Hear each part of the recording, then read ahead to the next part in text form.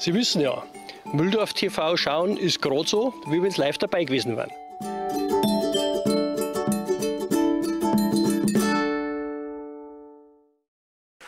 Die Staatsregierung hat nach Monaten teils drastischer Einschränkungen für die Bürger den Katastrophenfall aufgehoben und erlaubt so Schritt für Schritt die Rückkehr zur Normalität. Dazu gehört auch die Öffnung der Freibäder. Das kann natürlich nicht so erfolgen, als wäre nichts gewesen. So haben Stadtwerke und Stadt ein Hygienekonzept erarbeitet, das bei aller Vorsicht doch die Abkühlung im kühlen Nass ermöglicht. Das beginnt schon am Eingang, wo Bauzäune die Ankommenden von den Verlassenden trennen. Große Plakate informieren über Beschränkungen der Besucherzahlen, die Verhaltensregeln und auch über die Badezeiten. Davon gibt es drei, von 9 bis 12 Uhr, von 12.30 Uhr bis 17.30 Uhr und von 18 bis 20 Uhr. Natürlich sind vor der Kasse die 1,50 Meter Abstand einzuhalten, so wie am Boden markiert. Bei unserem Besuch zeigte sich der Himmel wolkenverhangen, obwohl es warm genug war für den Sprung ins kühle Nass. Nur wenige Besucher nutzten die ersten Tage des besonderen Sommers 2020. Da waren etwa Sophie und Julian, die Freude an der Rutsche hatten. Hat Spaß gemacht? Ja. Das ist ganz, ganz wurscht, dass es nicht ganz so warm ist, oder? Na, das ist wurscht. Das passt schon. Ja. Oder Janik und Sebastian, die sich von den Wolken und den Einschränkungen nicht hatten abschrecken lassen. Nee, im Wasser ist eigentlich ganz warm. Aber als wir, bevor wir hergekommen sind, war es super Wetter. Ja. Und jetzt macht ihr da Halligalli oder stimmt ja ein bisschen? Beides. Beides. Jetzt gerade erstmal eher weniger. Wir hatten uns mit Stadtwerke-Geschäftsführer Alfred Lehmann verabredet, um das Konzept zu besprechen, das diesen Badesommer etwas anders macht. Herr Lehmann, es gibt heuer doch einiges zum Beachten beim Besuch des Freibades, was doch den Spaß ein bisschen trübt. Das ist richtig. Im Endeffekt müssen die Leute, wenn sie bei uns ins Freibad rein möchten, im vorderen Bereich einen Mundschutz tragen. Ist Vorgabe.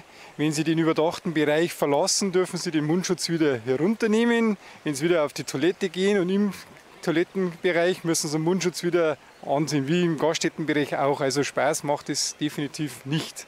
Die Besucher werden gelenkt, wie wir schon am Eingang gesehen haben.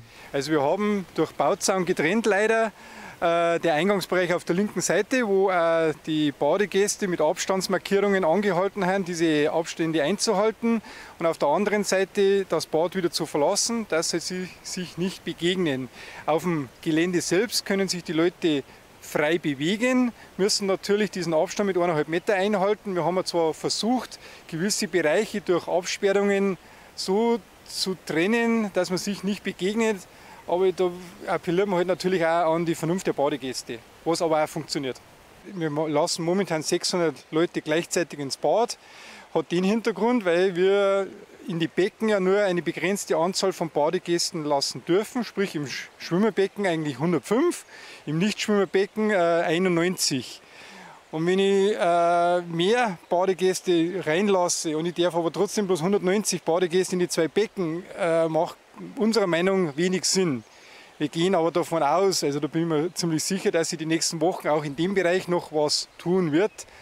Weil, äh, wenn man sich einmal vorstellt, die großen Ferien stehen an und äh, die Leute fahren nicht fort, wo sollen sie, wenn das Wetter passt, wo sollen sie hin?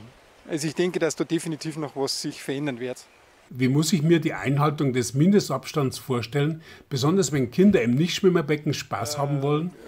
Es ist natürlich schwierig. Äh, die meiste Arbeit hat da halt unsere Badeaufsicht. Im Endeffekt, die müssen dann gewährleisten, dass die Vorgaben, die wir haben, eingehalten werden. Herr Russwurm, auf den Ruhebänken hinter Ihnen fordern Aufkleber die Einhaltung des Mindestabstandes. Wie funktioniert das denn? Ja, also den großen Ansturm haben wir ja bis jetzt noch nicht gehabt. Jetzt wissen wir noch nicht, wie es funktioniert. Äh, deswegen haben wir überall die Markierungen angebracht. Äh, ob der jetzt liegt oder sitzt, bleibt ja jedem überlassen. Das Wichtige ist einfach, dass der Abstand äh, gewahrt bleibt zum Nachbarn. Auch auf der Liegewiese gilt die Beschränkung auf zehn Personen in einer Gruppe. Unter Einhaltung des Mindestabstands, aber ansonsten ist er das jetzt ein bisschen gelockert seit gestern. Welche Einschränkungen sind noch zu beachten? Ja. Ansonsten bei uns die Einschränkungen sind ja, dass fast alle Attraktionen ausbleiben müssen, leider. Äh, vorerst zumindest. Vorne die Warmduschen sind außer Betrieb.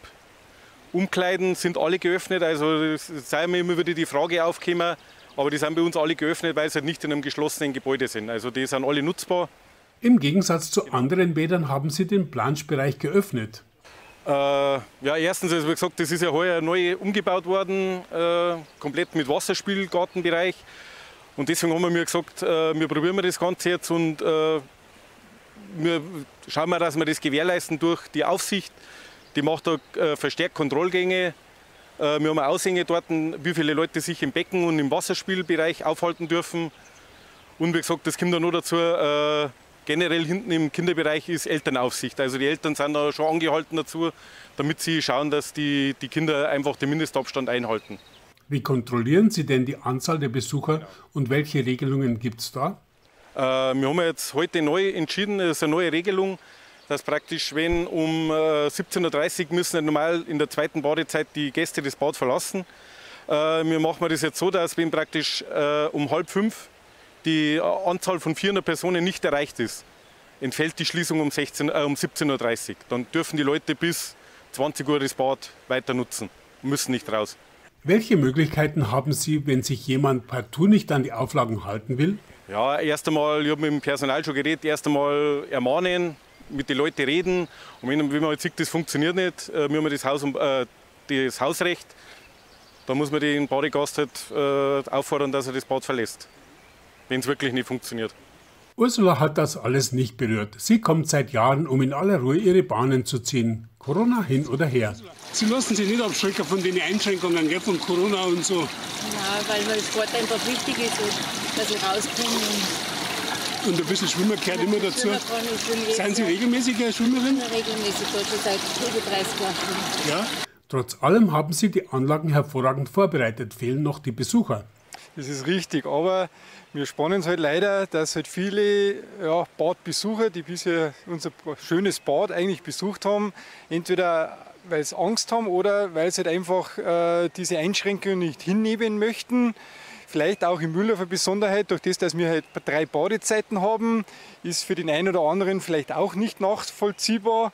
Wir haben uns auch entschlossen, wie auch eine Nachbarstadt bei uns, auch keine Saisonkarten zu verkaufen. Das kommt natürlich bei dem einen oder anderen auch nicht gut an. Aber wir sind halt der Meinung, wir haben in den letzten Jahren so circa 3.500 Saisonkarten, berechtigte Karten verkauft. Und wenn ich weiß, dass ich momentan nur 600 Leute maximal reinlassen darf und habe aber 3.500 Berechtigte verkauft, ich weiß nicht, ob das sinnvoll ist. Von Corona haben sich auch die Schwestern Cosima und Fanny nicht vom Besuch abhalten lassen. Genau. Also ich bin ja sehr gerne im Schwimmbad und das da habe ich mich halt total gefreut, dass es überhaupt wieder aufmacht und auch unter den strengen Auflagen ähm, kann ich das Training dann genießen und ja, also ich bin froh, dass es überhaupt wieder aufgemacht hat und ja. Was meinen Sie mit Training? Ähm, ja, also ich trainiere halt für mich einfach. Also eigentlich wäre ich im Schwimmverein, aber das ist ja momentan so streng. Also wir können nur von 8 bis um 9 am Samstag und am Sonntag ins Training gehen und ja, dann gehe ich, glaube ich, lieber am Nachmittag selber. Ja. Und Sie machen mit? Ja, genau. Also ich gehe mit ihr auch immer schwimmen und ich hätte ja eigentlich auch Training immer in der Früh, aber das ist ein bisschen zu früh. genau, deswegen gehen wir dann immer nachmittags zusammen und machen unseren eigenen Trainingsplan. Herr Lehmann, wie bisher entscheidet die Staatsregierung in Abhängigkeit der Entwicklung der Pandemie immer wieder neu.